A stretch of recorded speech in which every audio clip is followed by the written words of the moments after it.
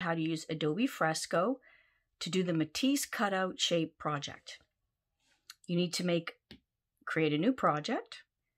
We're making a custom size. In Fresco, you're allowed to pick pixels or inches. We're working in pixels. Click on the top one and delete all of that. We wanted 864 delete that by 648 and click create document. What you're going to do is all your colors first. Mine is a beach scene, so first I'm going to start with blue. Use any brush at all, but remember you do want a texture, you want a variation. I'm using the live watercolor and the flat brush.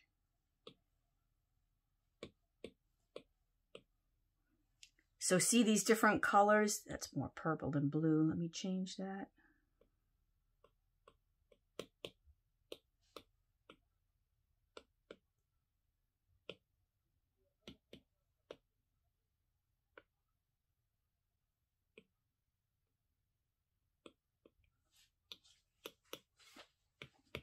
We're trying to make these look like they were hand painted, so good. There's blue. Now I'm going to hide that by clicking on the eye icon right there. Now that's hidden. I'm going to add a new layer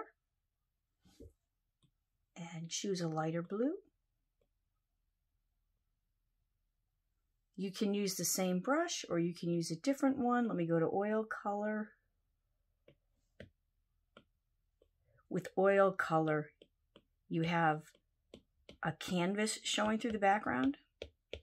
And then if you build up the color, see how, I'm not sure if you can see that. Let me make the brush a little smaller.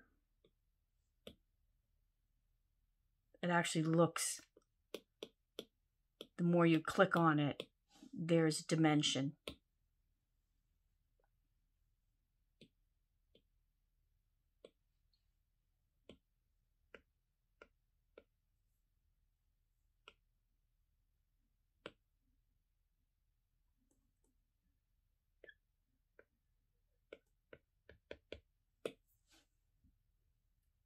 I will hide that layer by clicking on the eye icon, add a new layer.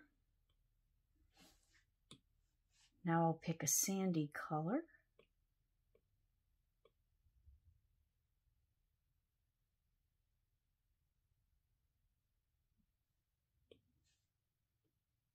Going back to watercolor because it is my favorite one.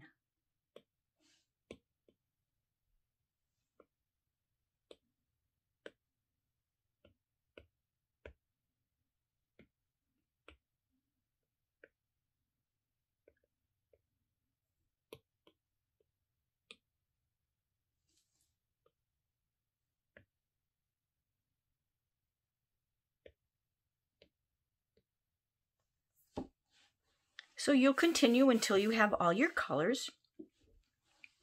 Next, I'll show you how to cut the shapes out. I will start with the sandy layer, and this will be my beach. So over on the right-hand side, you want this tool. It's the one, two, three, four, five, six, seventh tool down.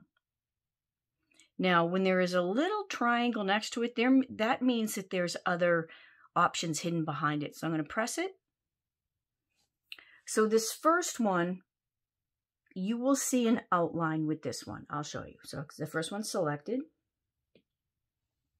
Now I'm getting this line. Then you connect it. Now the next thing you can do is click on that little options right there on the layer. Click till it opens. And I'm going to copy that selection. Now make a new layer over here. Click on that layer, press it, and then select Paste Selection. Then click Done up at the top. I'm going to hide the sandy layer by click on it, click on the eye icon, and that is what I cut out. Now, if I want to move this around, click the tool above the selection tool, that is the move tool. And it's telling me I can't move it because I haven't selected my layer. So select the layer, click on that. Now I can move it. So I can change the size of it, or I can just move it up or down. I can make it smaller. You can um, flip it both horizontally and vertically. Move that around. Okay, click done.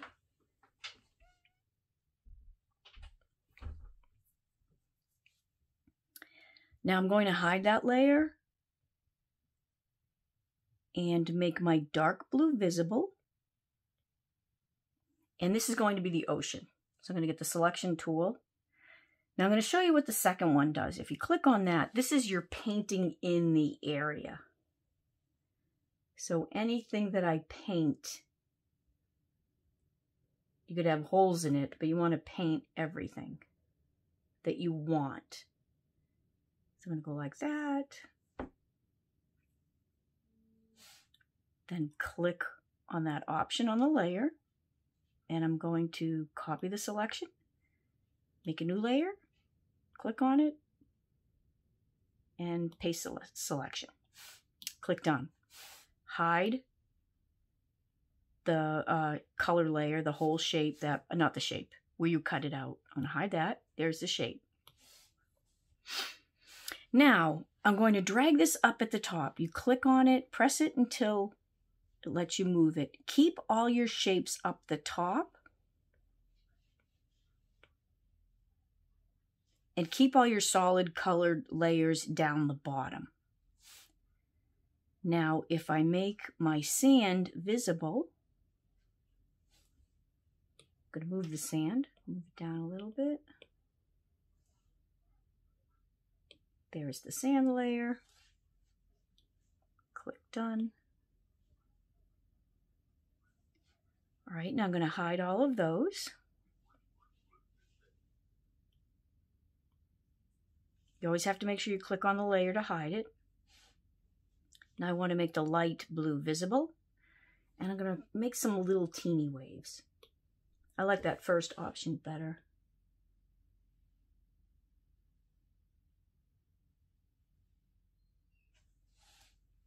Click on that layer. Copy the selection, click on a new layer, paste the selection, click done up at the top, come back to your background and I hide it. Now I'm going to make my sand layer visible and my ocean visible. And if I click the move tool, oh, I got the background wrong one that one. Now I can move it. Now, if you have move selected, which I have, I can just select all my objects and now move is already selected. Oh, that was neat. I didn't know it could do, oh, that was my whole background. Um, there's the sand, there's the blue. So that's a nice feature. Once you have all your shapes cut out, you can just stay there and move them around. You can also duplicate a shape. Click, click done at the top.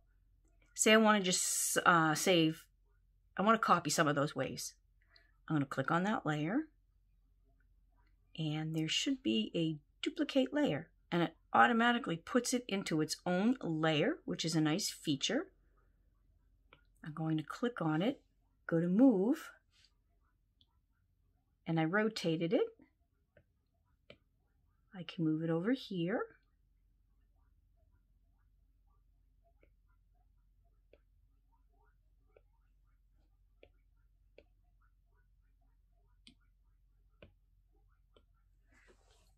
Okay, now continue going until you cut out all your shapes.